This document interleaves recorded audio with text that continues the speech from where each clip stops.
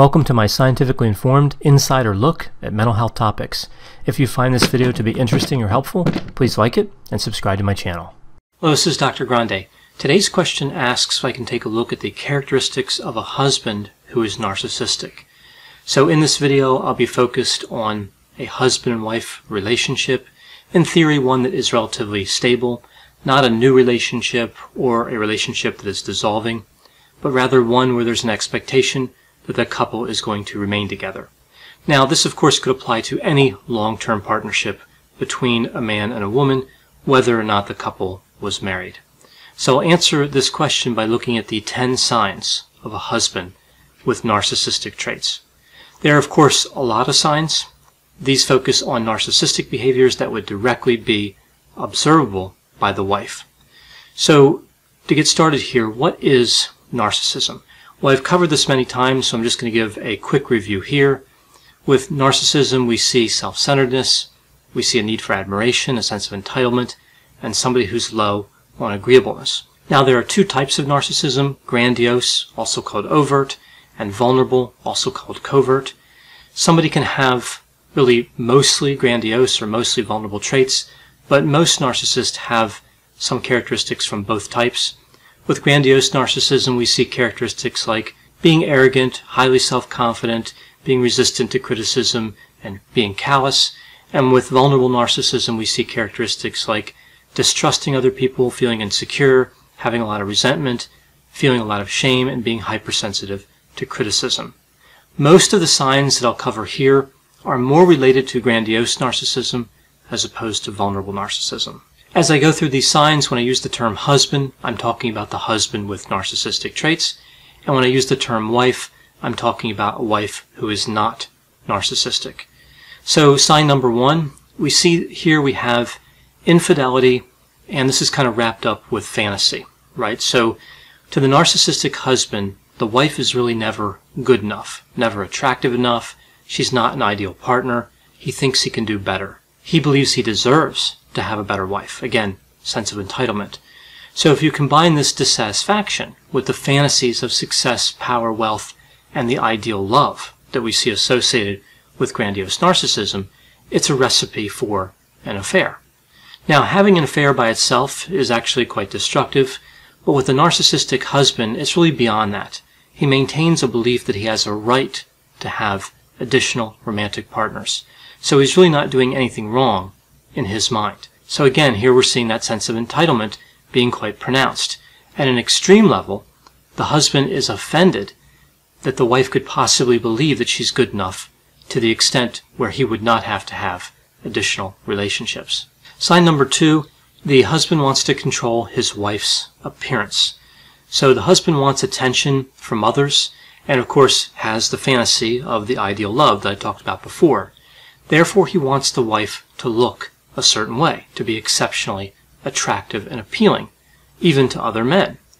One of the common areas where the husband can become demanding is around weight management, usually criticizing an increase in weight more so than a decrease in weight. We see no insight here, no compassion, no recognition that weight management can be very difficult. Rather, we just see criticism, guilt trips, and a general attitude of disgust toward the wife. Interestingly, if the wife suggests that the husband do something to increase his physical attractiveness, like, I'll work on this if you work on that type of a situation, this is offensive to the husband. Moving to sign number three, we see that emotional needs are not attended to. So, whenever the wife might be upset about something, no matter how legitimate the feelings are, the husband is not going to be supportive. We see a lack of empathy, which of course is very common with narcissism. We also see an unwillingness to even get involved with the exploration of feelings. Part of this comes from a lack of depth, but also this comes from self-centeredness. If the emotions that the wife is experiencing interfere with something the husband wants, then his behavior might be even more destructive than just simply ignoring the wife and not engaging her in a conversation. He might also go on the offensive. He might criticize her for being weak and emotional. So again, here we really see no true connection. The husband is callous and emotionally distant. Sign number four applies to a marriage or a long-term relationship that involves children.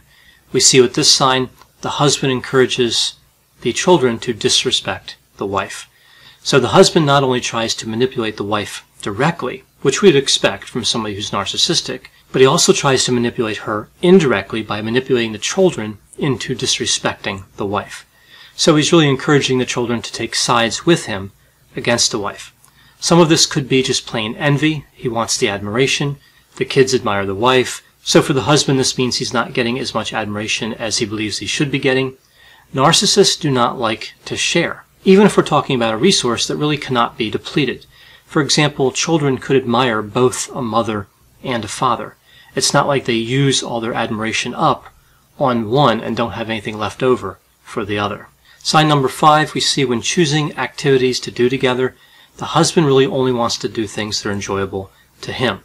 So the selection of television shows, movies, restaurants, vacation destinations, and even something like choosing which friends to hang out with. There's no give and take. He's always going to have a reason why the wife's selections don't work and why his selections make sense. So in this situation, the wife might find herself really going out and engaging in activities alone. She finds herself going places alone all the time, but when the husband wants to go someplace, she goes with him because he demands that. Again, this is very consistent with narcissism. Moving on to sign number six. The narcissistic husband is extremely jealous of other men. Now, one common behavior we see related to this sign is for the husband to scrutinize the wife's conversations with other men.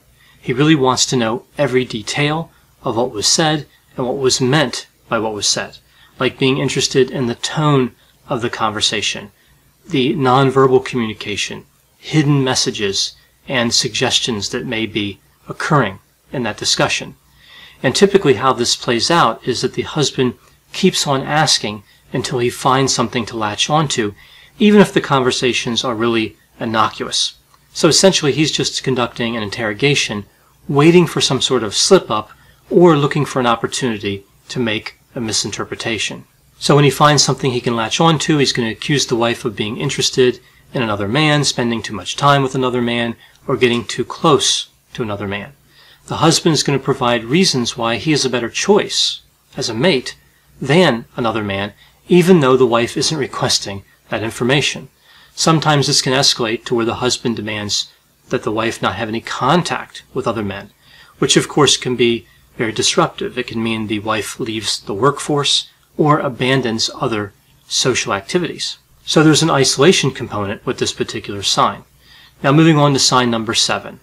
The husband is envious of the wife's success. So I want to clarify the difference here between envy and jealousy. Envy is defined as an unpleasant, often painful emotion characterized by feelings of inferiority, hostility, and resentment produced by an awareness that another person enjoys a desired possession. Envy is sometimes called the only unpleasant sin. Many people use the word jealousy and envy interchangeably, but we do see a distinction between the two. Jealousy involves a third party and is caused by a fear of losing a possession to a third party. And typically, the narcissist thinks of that possession as a person, specifically his wife. So this is like the behavior I mentioned in sign number six. So the husband is envious of the wife's success across many domains. Financial success, even if that financial success helps the narcissistic husband. Social success, like when the wife has many friends. Career advancement, regardless of financial rewards that are associated with it. So the wife's rank or status in an organization.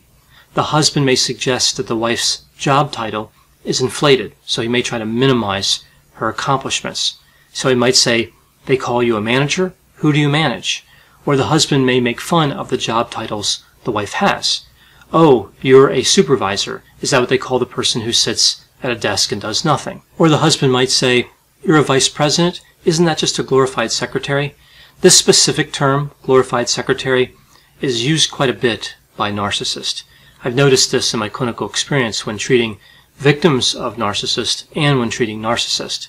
I've also found that the rank is more offensive to the narcissist than the earnings. So if a husband who's narcissistic has a wife that earns more, sometimes he can tolerate that.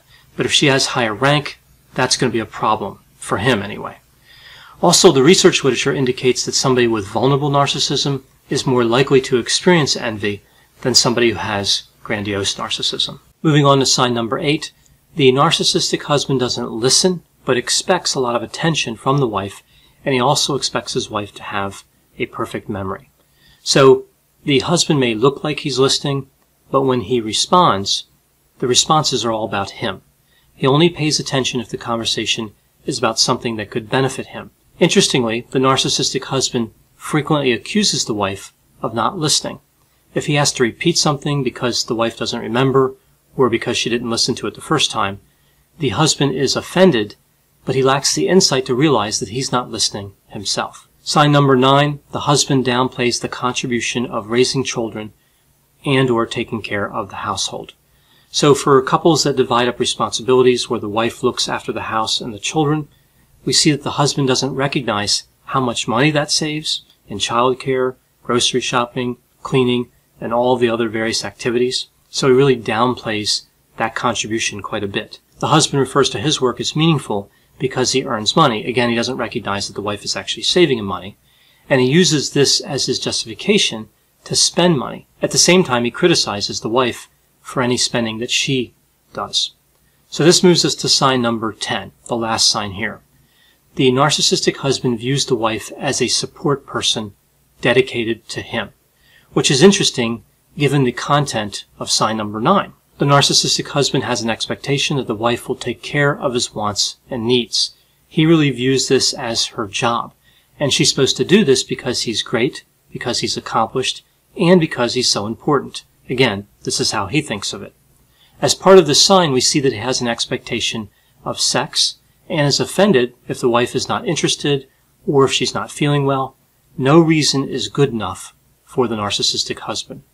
Typically, if this happens a few times, this is when the husband starts to threaten to find a physical relationship somewhere else. So again, we see a good deal of manipulation with this particular sign. The narcissistic husband places a high priority on his wants, but doesn't view the wife's needs, wants, or goals as important. So those are 10 signs of a husband who has narcissistic traits. I know whenever I talk about topics like this, there will be a variety of opinions. Please put any opinions and thoughts in the comment section. They always generate really interesting dialogue. As always, I hope you found this description of the husband who has narcissistic traits to be interesting. Thanks for watching.